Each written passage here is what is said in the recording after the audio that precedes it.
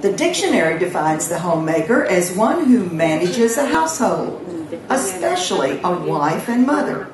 And in this generation, work in the home has been largely abandoned because of the demand for convenience and consumerism.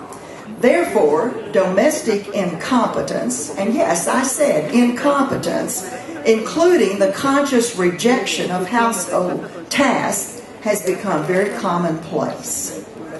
I had to iron this morning, and you know I still know how to do that. But there are many women, I have students who've never used an iron. There are reasons why the homemaking career is important enough to demand a woman's diligent preparation, her foremost commitment, her full energies, and her greatest creativity. A homemaker does her job without the enticement of a paycheck or a title but she cannot be duplicated for any amount of money. According to the wise Solomon in the Old Testament, she is worth far more than rubies. A very famous American interior designer said some years ago Homemaking is not employment for slothful, unimaginative, incapable women. It has as much challenge and opportunity, success and failure, growth and expansion, perks and incentives as any corporate career. How tragic that in our modern culture, patterns for a healthy and happy family life are quickly disappearing. Few women realize that what great service they are doing for modern civilization when they care for the family shelter and nurture their children. A good society and a good home are inextricably entwined. You cannot have one without the other. Homemaking, in my view and understanding, is not something you fit into the leftovers of life, as you would serve up the remnants of a meal. It is not barely getting by, as in merely maintaining a home base where your family comes in to unfill and fill again and go out. It is not skimping on time with family to splurge on spending for possessions. It is not giving up the beautiful and comfortable and memorable for more wealth and peer approval. It is not the abandonment of simple pleasures or amusements that bring delight to you and your family. Homemaking begins with feeding, clothing, sheltering the family, the absence of which would put the ones you love most as hungry, threadbare, and in need of home and affection.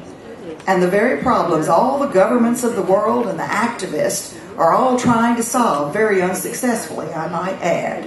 And God designed a mother, a wife, to do just that. But by no means is that all there is to this noble pursuit of homemaking, which reaches to include the most interesting and worthwhile endeavors known to woman or man. A homemaker is prepared from creation to provide comfort, order, relaxation, peace, and restoration in an atmosphere especially planned to provide for her own family a loving center to which everyone in the family will be drawn. Truly, there should be no place like home.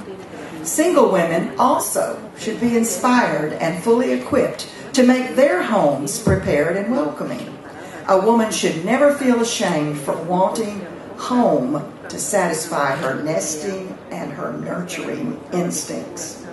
Both husband and wife achieve their respective individuality by assuming different roles, for which each is needed and on which neither intrudes. When a wife chooses to allow her husband to support the family, she can turn her ingenuity and creativity toward the very best use of family resources and to producing a lifestyle even better than an additional salary would buy. The homemaker, as in the case of the commander of an army or as the leader of any enterprise, will accomplish her goals because of her positive spirit and attitude, and with the help of her household in proportion to how she performs her duties intelligently, thoroughly, and enthusiastically. The well being of her entire family is dependent on her own joyful spirit, positive attitude, and faithful commitment to her task. Too many women rush headlong into a career outside the home, determined to waste no time or effort on the ordinary work in the house or babysitting their own children, but rather seek to achieve position and possessions by directing all their talents and energies toward professional pursuits outside the home. Indeed, many perfect jobs may come and go during a woman's childbearing years but only one will absolutely never come again. And that's the job of rearing her own children and allowing them the increasingly rare opportunity to grow up with happy memories of spending time at home under the care of the one who loves them the most. A woman's career can easily serve as a surrogate husband, as during the hours she is ruled by her employer's preferences because the wife loses much of her flexibility with the receipt of a paycheck. A husband must bend and adapt his schedule for emergencies with children, for receiving repairmen in the home, etc. This leaves two employers without completely committed employees, and it leaves the family's children without a primary caretaker utterly devoted to their personal needs and nurture. Many women as do I, still see the paycheck as an inadequate trade for the sights and sounds and taste of home. Though some see their paychecks as representing independence and achievement, such compensation requires an exchange taking the time formerly allotted to work for the family in private, personal ways. This is not to say that there are never times when a woman should seek employment outside her home. Nevertheless, we dare not embrace a day when a woman's employment outside the home becomes the rule rather than the exception, leaving the few to give primary attention to what is at the foundation of all society caring for the home and producing the next generation.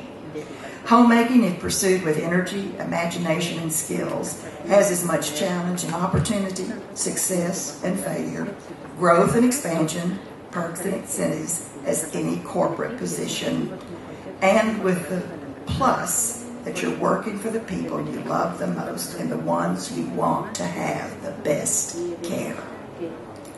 After examining your family priorities, every woman must determine that she will govern her life choices, trumping, as they say, the culture, overruling the culture, and the opinions of others, as well as even her own personal goals and ambitions. Let home be the launching pad for self expression and self improvement. Individual talents and giftedness are sometimes ignored and overshadowed or even belittled in the secular workplace. But at home, you can unveil creativity and imagination to blossom into individualized expressions which ultimately may become valuable far beyond the borders of your home. Never should a committed homemaker quench her creative pursuits. Never. Rather, she should strive to work beyond the mundane basics in the home home should become a seedbed of creativity, not only for the homemaker, but for the children and the whole family. If your decision is that you should devote full energies and time to managing your household, then I encourage you to attack this challenge with all your creativity and giftedness and truly make the assignment a career, a professional pursuit in which you give your very best to your family and to the extension of your family's influence on society for the generations to come. Remember that balance in your life is not so much fitting everything into your life, but rather understanding the priorities that govern all that goes into your life. God give us more homemakers.